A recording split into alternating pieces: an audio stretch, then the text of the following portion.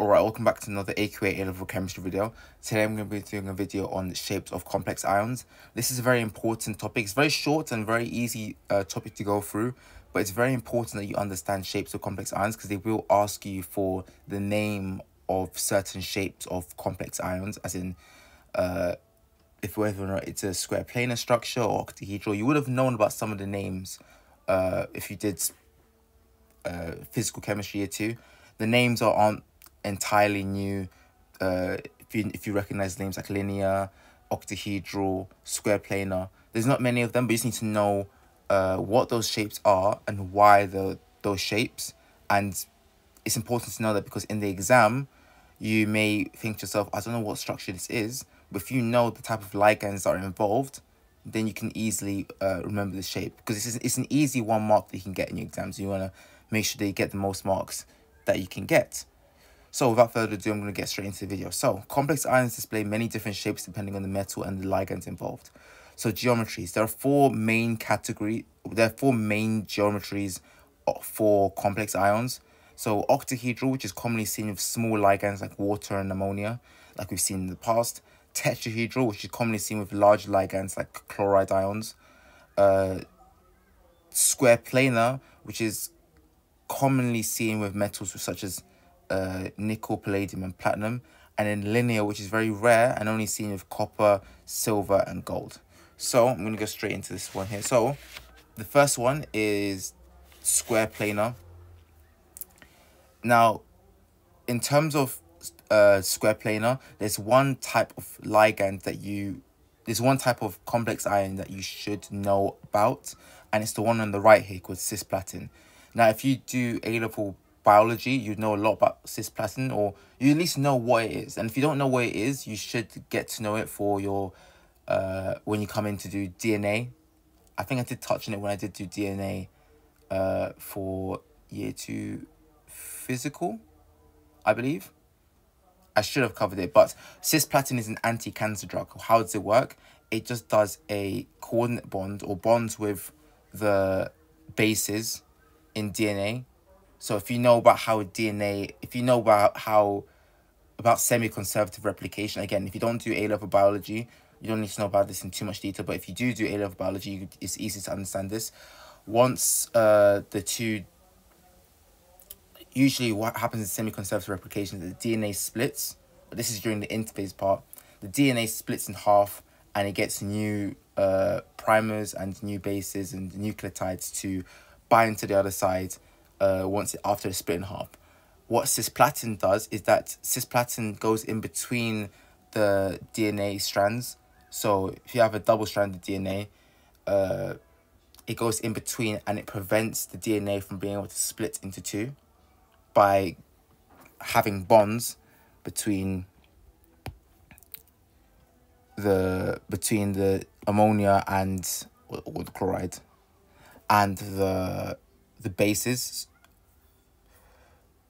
And essentially if because it's such a strong bond it prevents dna helicase from being able to denature the, the, the bonds. It can denature the hydrogen bonds but it can't denature this in the middle. So if you can imagine this here you'd have usual hydrogen bonds usual hydrogen bonds right out there.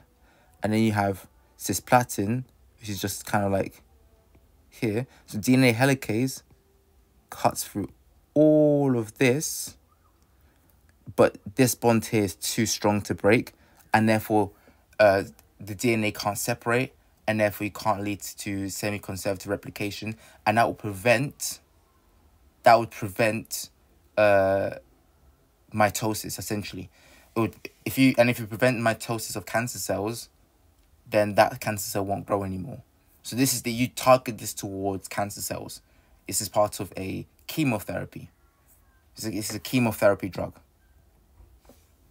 or chemo drug, right? Now you don't need to know necessarily about how it works, uh, well, too much into like how it works in semi-conservative replication, but all you need to know is that it's a, it's an anti-cancer drug, and that it works by binding, uh, to the bases, and it, it moves in between the strands of DNA, and it binds to the bases and prevents, uh, the DNA from being able to split.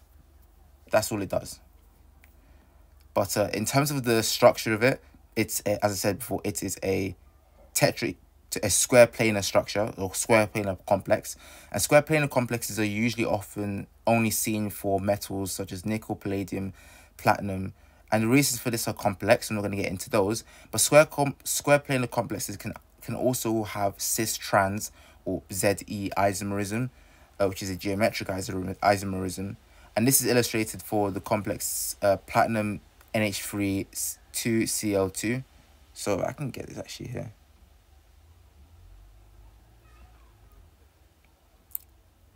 This this is a plat platinum NH3 2Cl2 is is just uh cisplatin, but it can also be transplatin.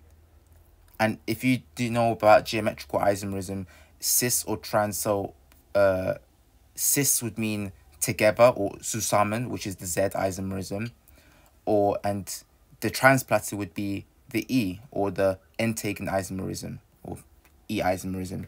So and this would matter a lot because when you when don't suggest that these are the same thing that they're two completely different drugs. Uh, whenever they're doing chemotherapy, they, they look at it, they they they pick out specifically either cisplatin or transplatin, depending on a certain situation. Again, you don't need to know too much about that. Again, all you need to know about cisplatin is that it bonds between the bases of of the of the nucleotides or binds to the bases on the nucleotides and prevents the DNA from being able to separate. That's and that's how it works as an anti-cancer drug. Prevents DNA replication therefore the, the cancer drug will, will eventually just die. That's all. You don't need to know too much about cisplatin and transplatin, but all you need to do now is just know that there are different drugs and the cis part ins insinuates that they are together, whereas transplatin insinuates that the ligands are on opposite sides. See, together, opposite sides. So to together, apologize, together and then these ones are on opposite sides. Great. So, linear complexes. So that's that's for that. Those are the only square complexes that you need to know. Uh, linear complexes. So linear complexes are only seen for copper, silver, and gold. A good example of, of a linear complex is silver diamine, and this is actually the ingredient that's in Tollens reagent. So when you think about, remember when you're talking about the aldehyde test, the test for aldehydes, we you can either use the Benedict's or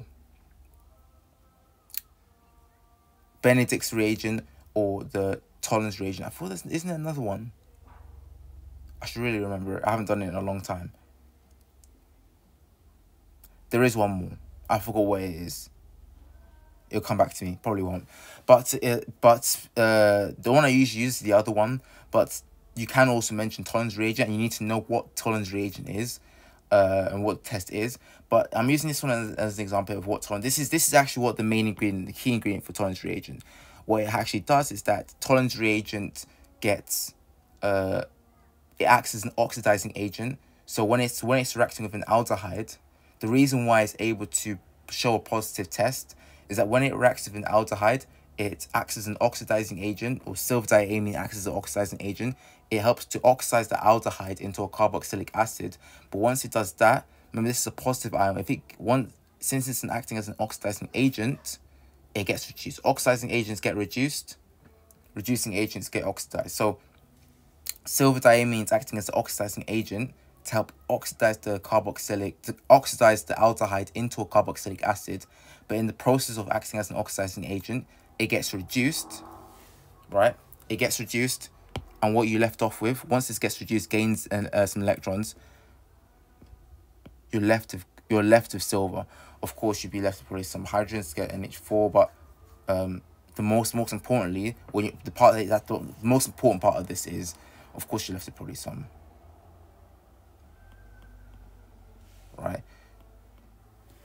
Probably that's not important. I, I in, in case there's a chemistry teacher that's look, looking at that and that's wrong, don't worry about it. I'm not gonna go into that and make make an accusation that's wrong. The most important part is that you're left with silver, because you've just you've just reduced. It's just been reduced, right? And if it's just uh, silver as the atom by itself, that's just going to be solid silver. And that's solid silver metal. Hence why when you react a Tollens reagent in the presence of an aldehyde, you get a silver mirror because that silver diamine has been reduced, leaving you with just pure solid silver, forming that silver mirror. So that's what just a little bit of a fun fact if you if you wanted to know how silver diamine actually how Tollens reagent actually worked. But um yeah, so that's that's an example of a linear complex. So I'm gonna go into some isomerism. So isomerism of complex ions. So complex ions display several kinds of isomerism. Cis-trans isomerism. So cis-trans isomerism is a bit like geometrical EZ isomerism. When two groups are on the same side, they are cis, and when two groups are on the opposite side, they are trans. I've just mentioned this before. So uh, the good example here is this example here, which is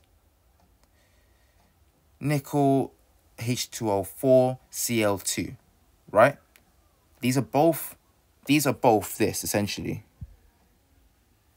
Let's write this. Nickel H2O. Oh.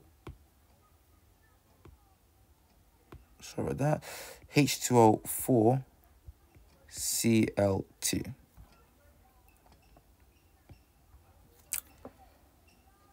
I don't know what the charge on the nickel would be. It'd Probably be neutral because of the fact that the CO2 has a negative charge. If it's if the nickel is two plus, then it would be this would be neutral. But the point being, right, um,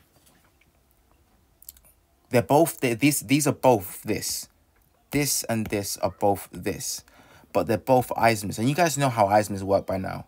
You should know about this by now. But it's just knowing that this would this would be an example of the one on the left here.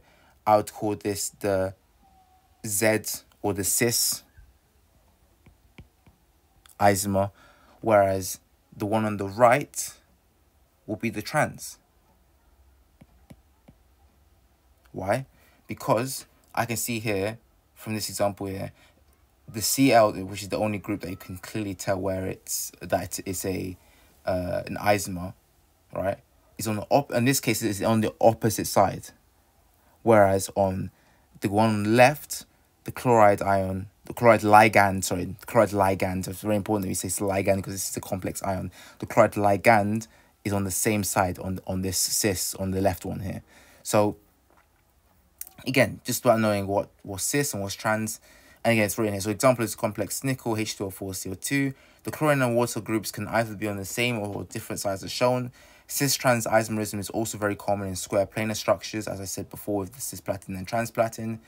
And uh, but yeah, but it's also that's more for square planar. You get uh, geometrical isomerism with uh with square planar structures, but with you can also get optical isomerisms and octahedral molecules with three bidentate ligands exist as a pair of enantiomers, and this is illustrated by for a nickel uh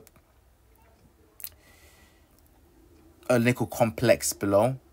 Sorry, I don't know why I did put complete uh, period. But uh, yeah, octa octahedral, octahedral molecules with three bidentate ligands uh, this is a pair of enantiomers, and this is, illustrated for a, a, nickel complex below. And the image, of course, is nickel ethane diamine. So the the E this EN free part or EN EN the free is just how many there are, how many ligands there are. But EN is just it's another way of us saying ethane diamine if you ever see this, then you have no idea what the hell that is. That's just ethane diamine. This the EN here. Good. So, nickel ethane diamine uh, 3, or nickel, nickel triethane diamine, I could say, has two isomers, and they're both optical isomers. And again, if you understand how optical isomers work, they they have the same structural arrangement, but they have a different arrangement of those atoms in space in terms of the fact that they are non-superimposable images of one another. They're, they're mirror images, but they're non-superimposable images. No matter how many times they're two, they're completely, they're different molecules in terms of the fact that no matter how many times you try to rotate this molecule, you'll never get this molecule. They are different molecules. So that's one thing to and they may they may have sim they may have different properties may have different properties all right so that's pretty much it so if i was just to round up all of this so isomerism of complex ions i'm about to give a little bit of a summary. If I was to say octahedral,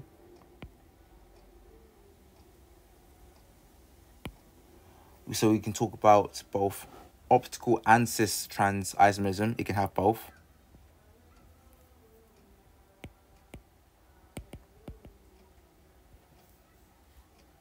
Optical isomerism, and it's also we can have cis trans.